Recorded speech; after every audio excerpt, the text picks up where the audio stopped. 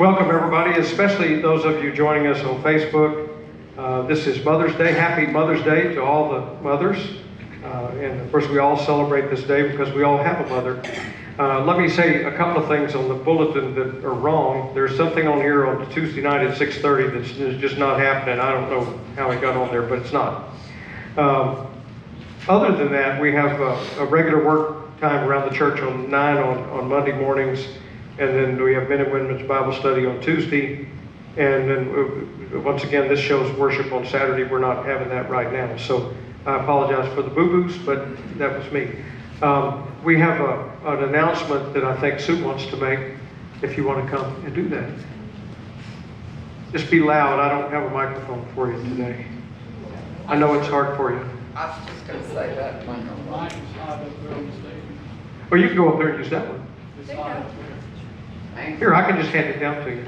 Look, it's portable. There you go. Well, good morning, everybody. I just wanted to remind everybody that we are celebrating the retirement of Pastor Jack on the 4th, starting at 4 p.m. There are also thank you cards available on the back table where the announcements are in case you want to make a personal note for Pastor Jack and or Kathy. And if you have any questions, please see Ron, Harry, Holly, or myself. Thank you. Thank you. So we're going to begin, we, we, we're going to begin with the video, and as soon as we get that, we're going to sing Surely the Presence of the Lord. So uh, we'll let it go.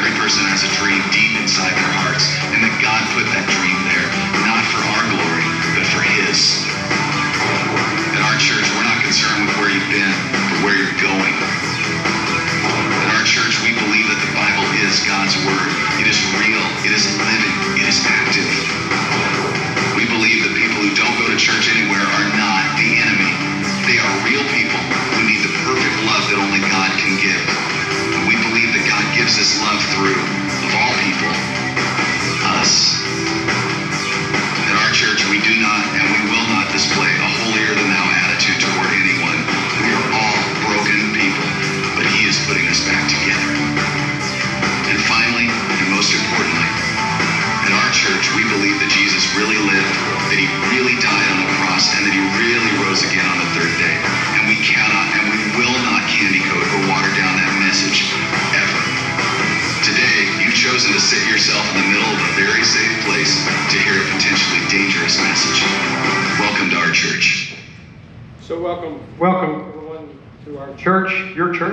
sing Surely the Presence of the Lord a couple of times. Just remain seated as we sing.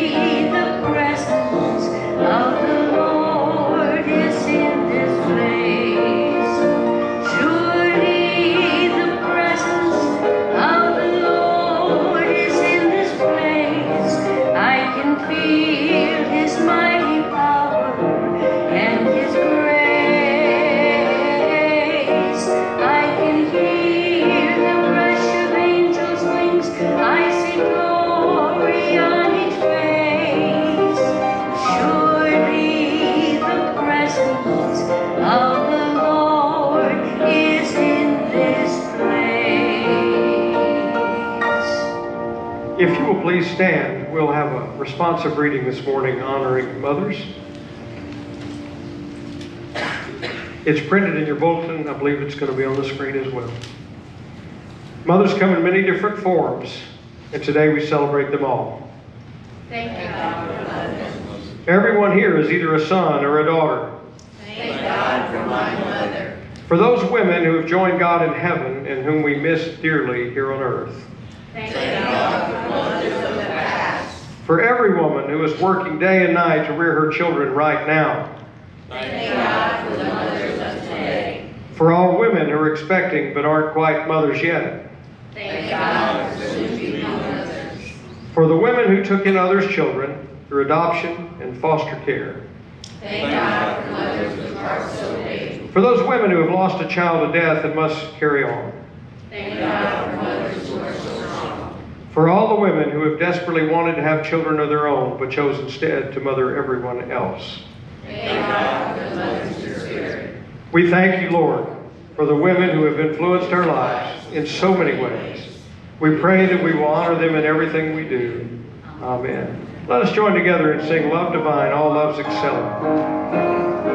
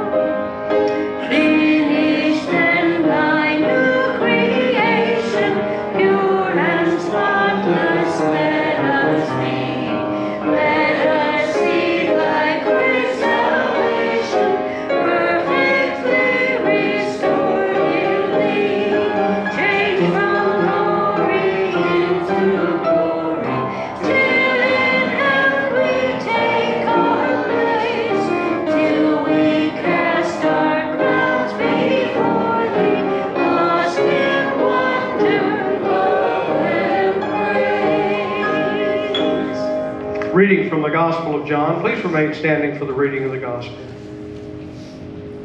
If you love me, you will keep my commandments.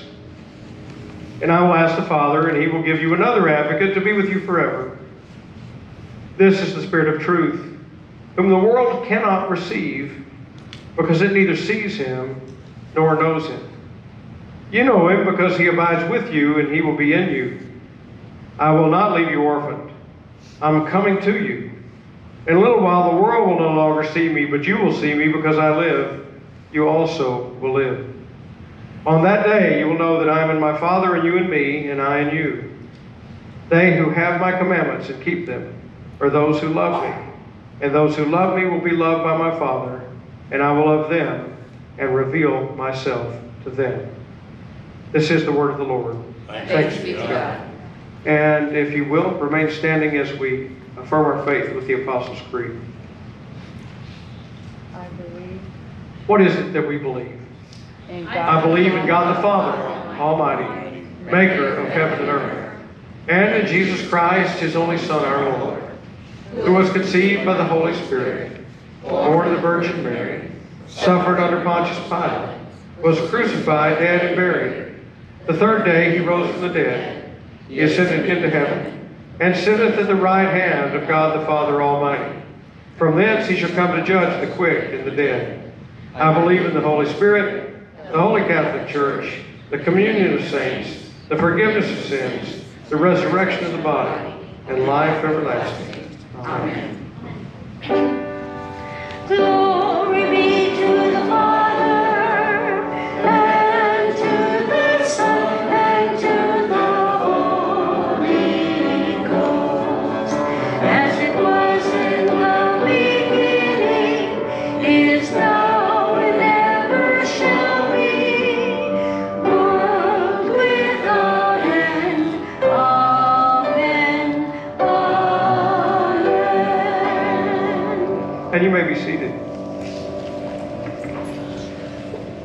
continue to minister to our community through the blessing box. Uh, it has been a little short of uh, supplies over the last week or so. We just need to be mindful that if we're out shopping, we could pick up an extra can of something here and there for others. I, I had to laugh the other day. I knew it was empty, and a lady pulled up in the parking lot, and I was parked there. It was after hours, and I was parked on the carport. She was unloading, and she was putting stuff in it. And uh, I just went and made sure that I thanked her for helping us do that. There are a lot of people doing that. We just don't sometimes get to see that part at all. In a few seconds, I'll invite the ushers to come forward for the collection of our gifts, tithes, and offerings. I would invite you to come now.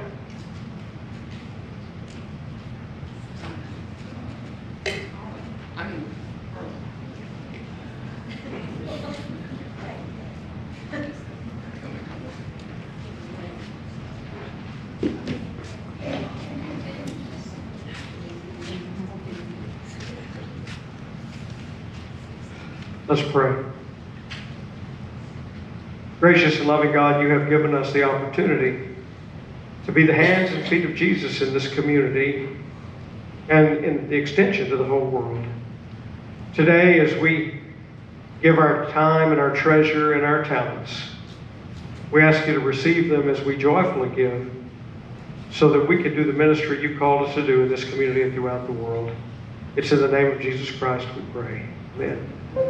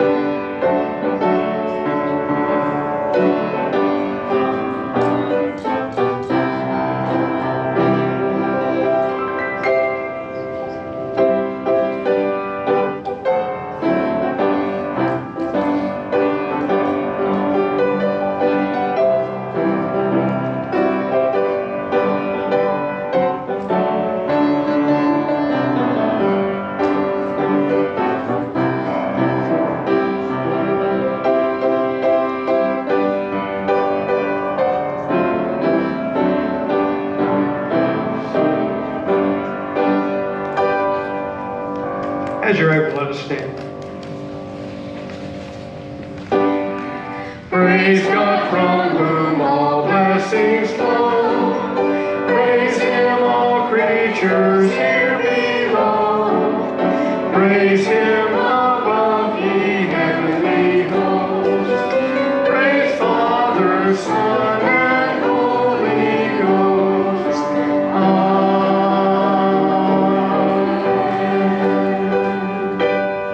And you may be seated.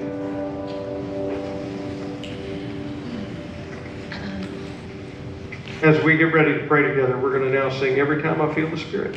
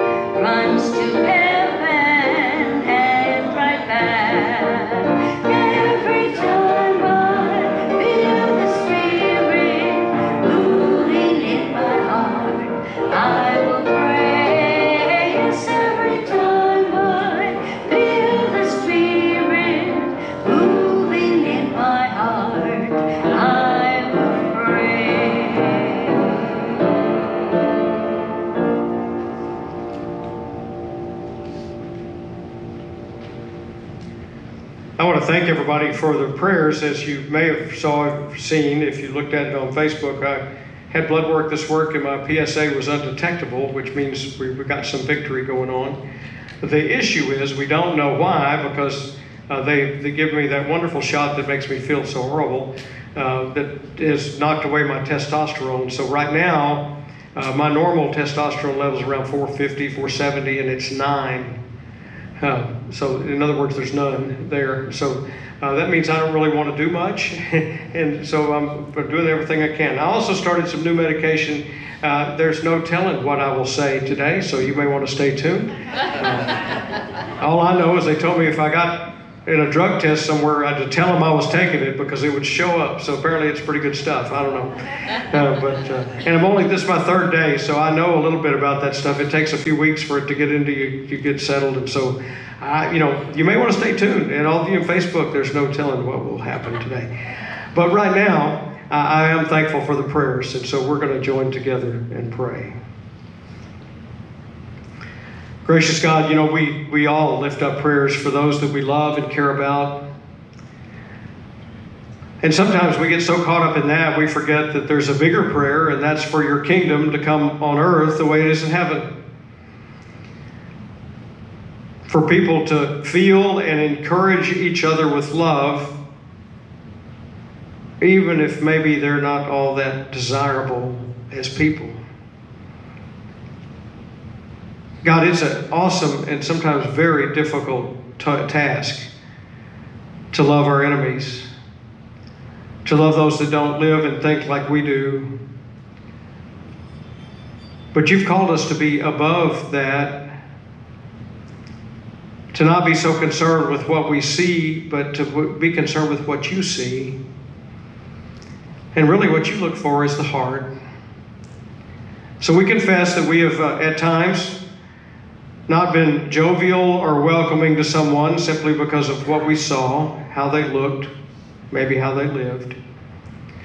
And we confess that we don't know how to do what you've called us to do. So we believe that the closer we get to you and the more of your spirit we have in us, the more also of your sight and your eyesight that we have to see people for what they can be, not what they are right now.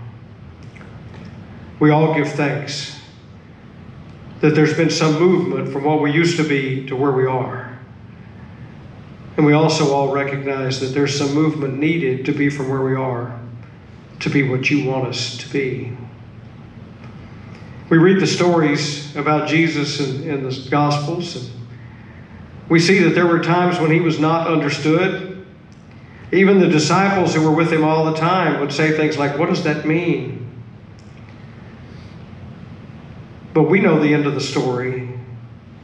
We know that he talked about traveling to Jerusalem, that he knew they would capture and persecute him, and that they would kill him.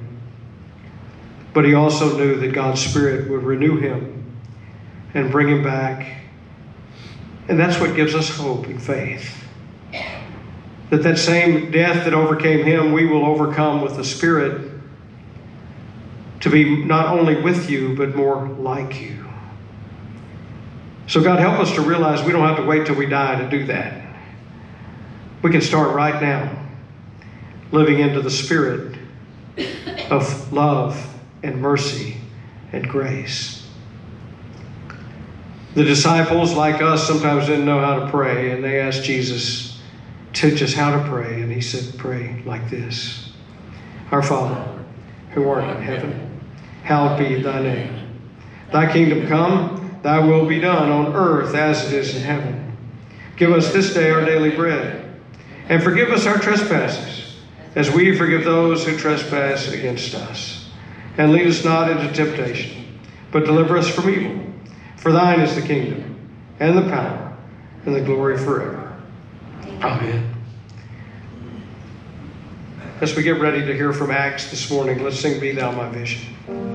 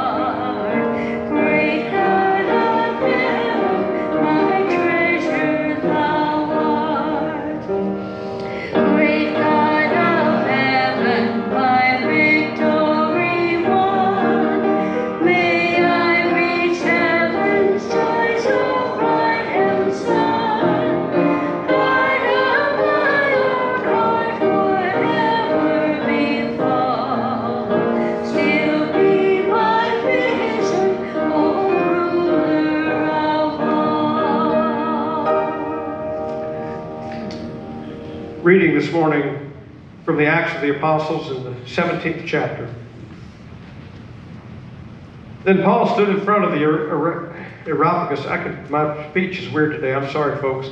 Areopagus and said, Athenians, I see how extremely religious you are in every way. For as I went through the city and looked carefully at the objects of your worship, I found among them an altar with an inscription to an unknown God. Whatever, what therefore you worship is unknown, this I proclaim to you. The God who made the world and everything in it, he who is Lord of heaven and earth, does not live in shrines made by human hands. Nor is he served by human hands as though he needed anything, since he himself gives to all mortals life and breath and all things. From one ancestor, he made all nations to inhabit the world, the, the earth, and he allotted the times of their existence and the boundaries of the place where they would live, so that they would search for God, perhaps grope for him and find him, although indeed he is not far from each one of us. For in him we live and move and have our being, as even some of your own poets have said. For we too are his offspring. Since we are God's offspring, we ought not think that the deity is like gold or silver or stone, an image formed by the art and imagination of mortals. While a God has overlooked the times of human ignorance, now he commands all people everywhere to repent. Because he has fixed a day on which he will have the world judged in righteousness by a man whom he has appointed. And of this he has given assistance to all by raising him from the dead. This is the word of the Lord. Thanks be to God. You know, I've been a Methodist for ever. I was a Methodist till 1968 when I became a United Methodist. That was from a merger of the Evangelical United Brethren and the Methodist Church. And so we became united. It's kind of funny that you call it that because we've never been that united, really. Uh, we have a long history of having diversity within our ranks. We have a wide and open pathway. And uh, I've just not heard very many Methodist sermons that were entitled, God Demands Repentance.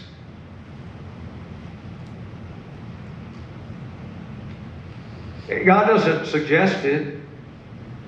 Everything depends on that.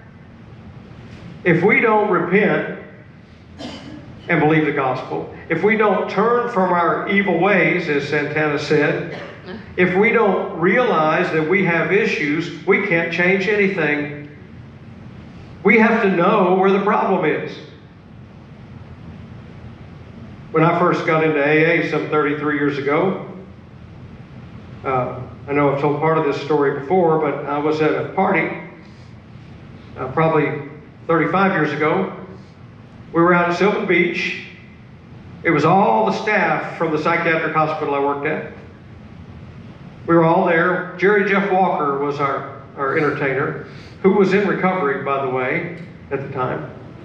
Uh, I believe he was the only sober person in the whole entire place. And the head of the chemical dependency unit came up to me and she said, uh, Jack, how many of those beers have you had? And I said, oh, I don't know, 20? Oh my. Well, they were little. Oh, yuck. I mean, they were like just barely coffee cup size. You know, it was a keg. And, and uh, she said, Well, you don't seem very different. I said, Well, that's good, isn't it? She said, Not so much.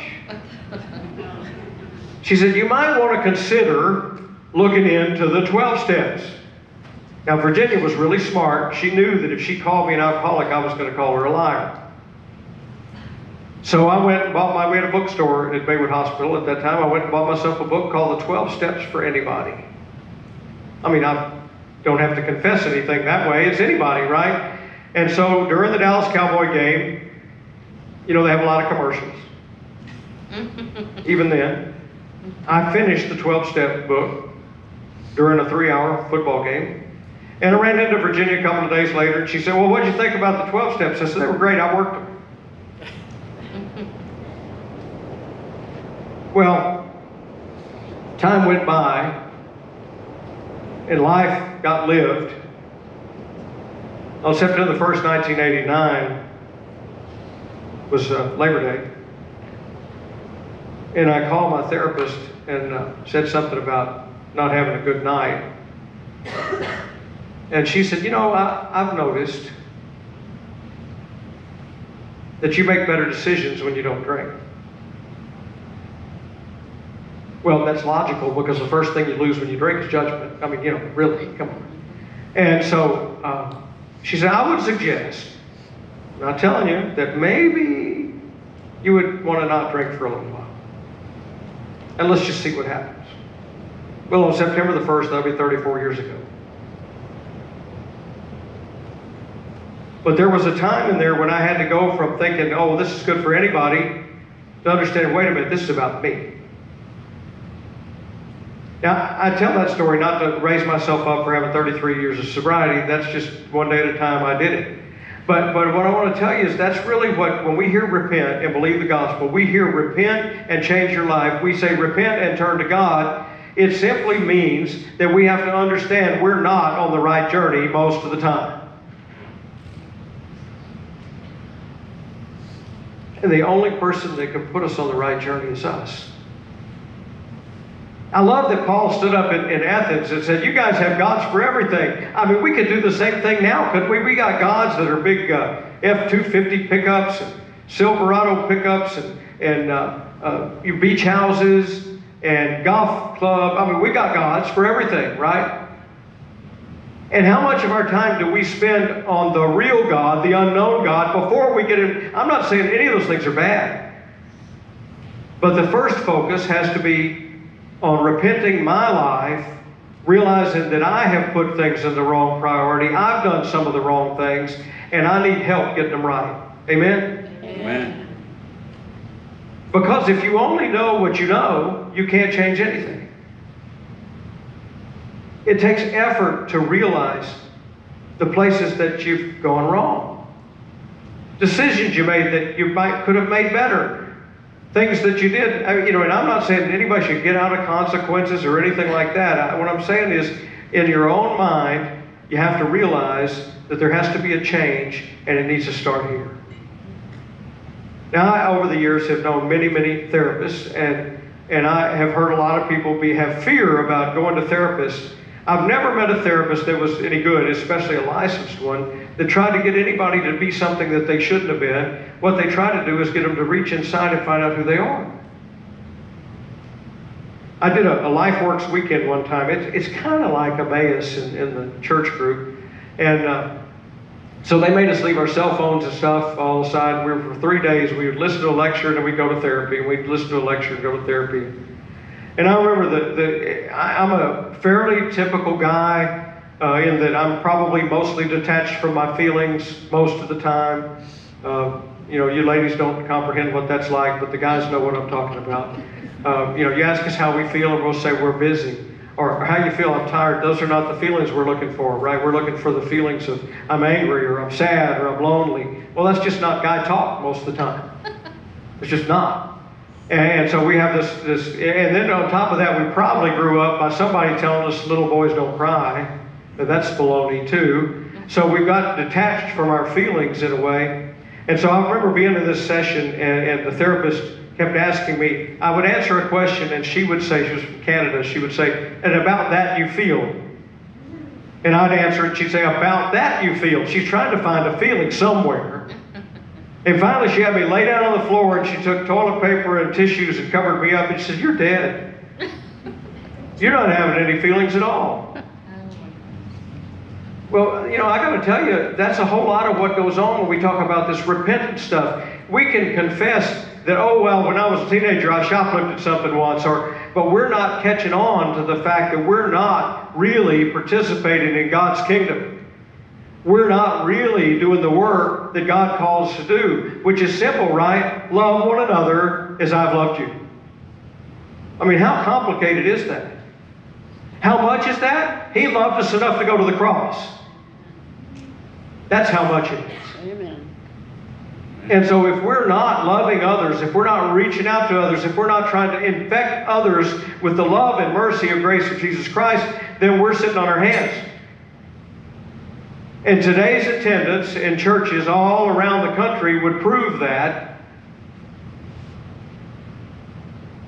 We just have a tendency. I, there was a story, I'm not going to get it exactly right, but there was a story I put on Facebook. Some of you may have seen it about the farmer that had a, a bumper award winning corn crop. What? And it was a, you know, he grows corn and he has award winning corn. And so the news reporter said, Well, I'm amazed that you save some of your seed and you give it to your neighbors. And he said, Well, you know, the way corn works, it gets cross pollinated from the fields next to it. And so if they've got inferior stuff, it's going to cross pollinate with mine and lower the quality of it for everybody. He said, So if I give them the best stuff, mine continues to be the best stuff. And, and my short way of saying that, friends, is when churches are doing the right thing, the rising tide will raise all the boats. I'm not trying to raise the Methodist church to bigger attendance. I want all churches to prosper. Amen. And I want to tell you, we all need to stand up in front of the world and say, Let me tell you about the God you don't know. Because our God is the God that can turn disaster into to miracles. Our God is the God that can turn awful things into great things. And God is there all the time. But we have this, this innate ability to, to uh, well, you know, we know God. We're, we're, we're, we're happy to think about you, but we've got these problems. You know, I'm not making enough at work, or my family's in disarray, or my kids aren't doing what they're supposed to do. And what God would simply say, what I think Paul would say, is move God to the front. Start to look at your problems through God, and you'll start to see different answers. You know, we get mad at people sometimes, and anger is not a bad thing. Anger can give you strength, properly used. That's different than rage. Rage is never good, never. Rage is really a combination of boundaryless and depression, usually. It's not anything to do with, with being angry. You know, I'm talking about that screaming fit that you have that's, that's uh, abusive to yourself and anybody hearing it. Real anger is that kind of anger that, that my kids had such a hard time with when I learned it. I would say things like, It makes me angry for you not to wear socks when you go to school. And, and, and they said, Well, why? I said, Well, because it makes your shoes stink and all the other stuff goes along with it. And they said, Well, we liked it better when you screamed at us. It makes me angry that people dishonor our Lord and Savior Jesus Christ. Amen. It makes me angry that we live in a world right now where that doesn't seem the priority. It makes me angry that fellow Christians can be judgmental about other Christians who are just doing the best they can to find God. Yep. I don't have the best way. I just have my way. And you've got your way. Sometimes we do it through music and we sing the songs. I love the Be Thou My Vision song. It's one of my favorite. I like the one on Every Time I Feel the Spirit too. Do we really ever do that? Every time I feel the Spirit, do you pray?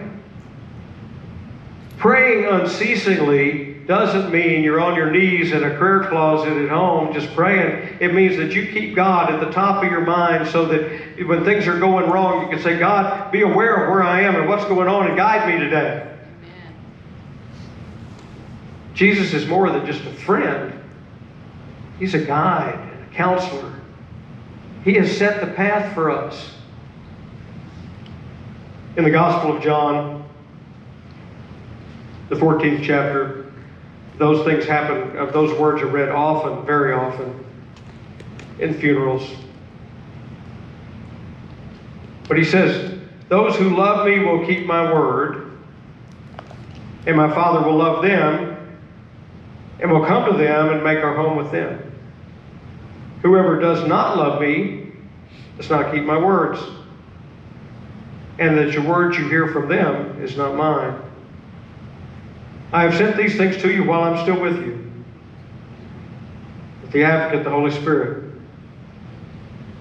the Father will send in my name. He will teach you everything. The Gospel of John in the 14th chapter really, to me, says it all. It's got the part in there where it's questioned. We don't know the way. Really, do y'all know the way? Jesus is the way, the truth, the life. Amen. That's the answer. What's the way to the future? What's the way to salvation? What's the way to an improved life? It comes through Jesus Christ. Amen. And yes, that gives us eternity, but I want to talk about now. We don't have to miss out on this opportunity right now. We can see lives change, we can see miracles happen. We can see people we don't even know drive up to the food box and put food in it. We're so results oriented that we think if we pray, we should get an answer right now. Hey, listen to Garth Brooks. He thanks God for an unanswered prayer. And probably so do we. Sometimes we don't pray for the right stuff. That's the reason when Jesus says, if you pray for it, I'll give it to you, but that's if you're in the right mind at the right time, and the right ideas, doing the right thing. And really, I'm going to tell you, when he says, if you had faith as much as a mustard seed, you could move a mountain. And the disciples, in their silliness, they said, Well, how do we get more faith? He said, You don't need more, you just need that much. Amen. So we have to work on understanding that. We have to work on being real with, with being there. And I want to tell you, I believe the very first step is repentance. And to me, repentance is a big picture thing. It means, okay, I know I've done wrong. Sometimes it's on purpose, sometimes it's by accident. I don't have not lived the life that God would have me live every moment of every day. Amen? Amen. Amen. And I need to confess that. Because if I don't, I can't change it. If I don't realize that I've made mistakes and that, that, that, that I've gone off the path and I haven't listened to the Word of God, then I can't start to hear it because it, says in here people that don't know don't know. Roy Heller uh, grew up in Baytown. He's a professor up at Perkins. He's an Old Testament professor. Grew up in Baytown, Texas. He was a Pentecostal. He learned the book of James in its entirety by memory. And he said, even to this day, he finds it very difficult to study the book of James because he thinks he already knows it. Maybe one of the profound things I've ever heard anybody say is there's only one thing on earth you can't learn, and that's what you already know. So I want to submit to you that we don't know all the reasons we need to repent. Uh, oh gosh, what's his name? Tony, the TV preacher, Tony Evans. He says it in a different way. The more light of Christ you get, the more you see the cracks and wrinkles in the world in front of you. We can't, it's not our vision, it's God's vision. Be thou my vision that I can see. And until we get connected to God so that we start to have the eyes of Jesus, then we really can't see what needs to change. I was never aware, and I, I mean never, of how many homeless people we had in this community. They kind of are invisible. I mean, they hide. And my heart goes out to them. I grew up thinking more or less, you know, this is a great country, pull yourself by the bootstraps and move on. But some of them can't. We had a lady visit us one year on Christmas Eve that still sleeps on the porches of some of these stop and goes around here. Uh, called the police to it was cold, tried to get her some help. She didn't want any help. It almost makes you want to give up, but you see, there are some that do. We can't give up on trying to change the world. The mission statement of the United Methodist Church is making disciples for Jesus Christ for the transformation of the world. You'll notice it is not get more people in the pews at Hope Community United Methodist Church. I mean, that'd be great, but that's not what it is. It's make disciples of Jesus Christ for the transformation of the world.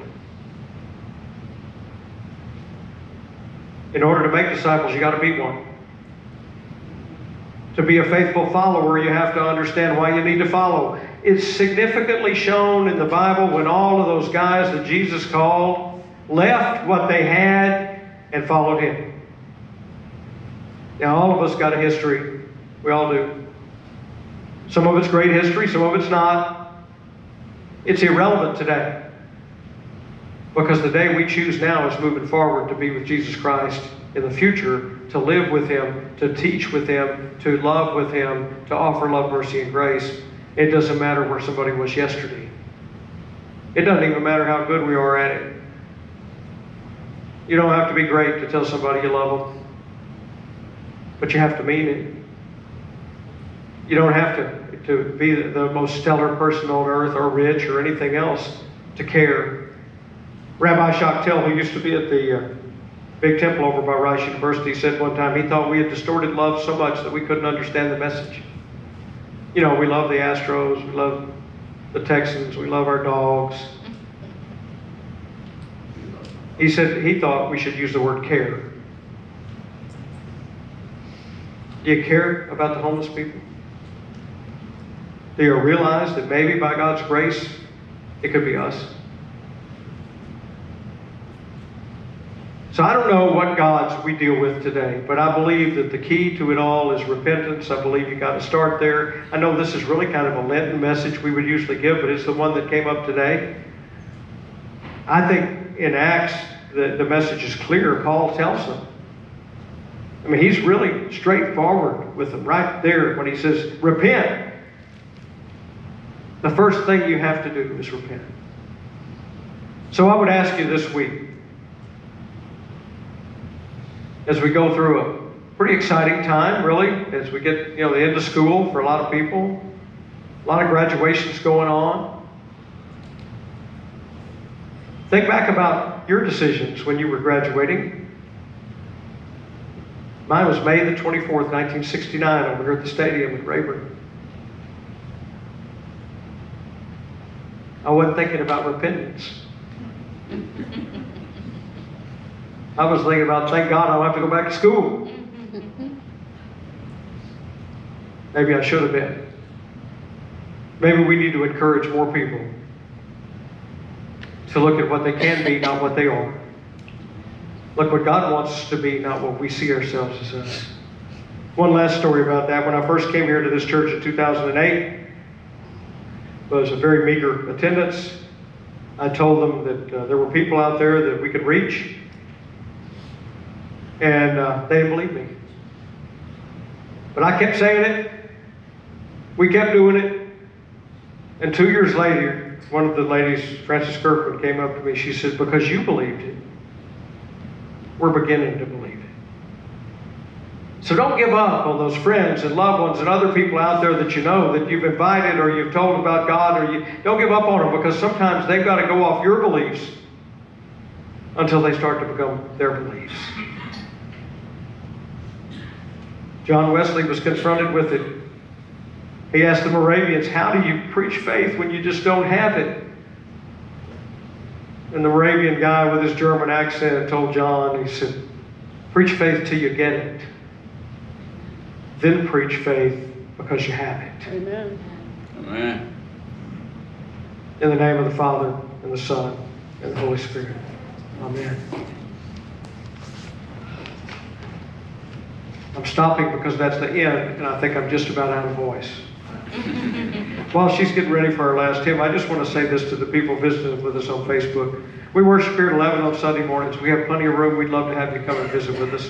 My name is Jack Womack. I'm the pastor here. Uh, Hope Community United Methodist Church was chartered in 2011, and we are in some ways still very new, and in other ways we're pretty traditional. So we would love to have you join us for worship at any time. I think we're ready now. As you're able, would you stand as we sing what I think is the best closing hymn ever made for church?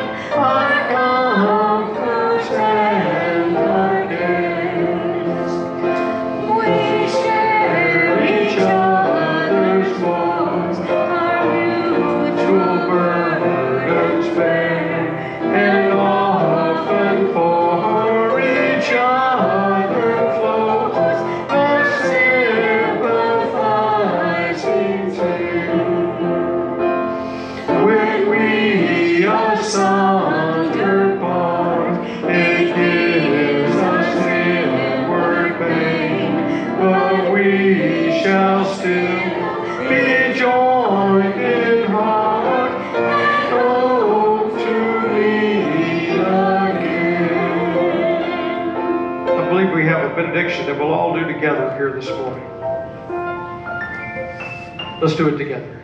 Give us God, Son, a little happiness, and some more. Give us a heart to comfort those in pain. Give us the ability to be strong, wise, and free. so that we may be as generous to others as we offer ourselves. Finally, God, let us all live as your One. one family. Amen. My voice is gone. Friends, thanks for being here today. We did have a little heavy rain, so I know you made an effort to get here in the rain. Those of you on Facebook, we look forward to seeing you in person or here with us every week. God bless. Go in peace. Amen.